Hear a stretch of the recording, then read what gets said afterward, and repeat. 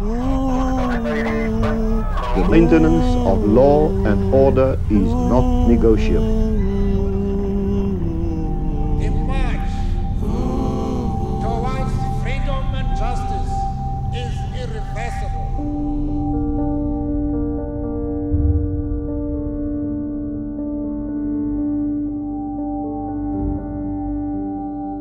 My name is Frederik Willem de Klerk.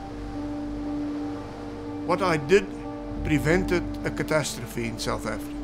When the inauguration happens down here, what would you be thinking if it turns out that it's the country's first black president?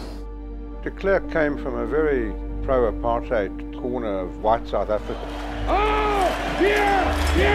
he was an Afrikaner nationalist in his bone marrow. We are standing here firm as a nation of white people. But after he was elected, FW started to surprise. De Klerk was the first president to bite the bullet and say apartheid is unworkable. After Mandela was released, it was not anticipated that political violence would continue, but in fact it increased. Massacres were continuing in the townships. In their presence, we were killed. Where was the government? Where was the president? The security police were shredding documents 24 hours a day. His sympathy comes with crocodile tears. He had effectively lost all his previous supporters. Yes, firm action, but not murdering people, not assassination.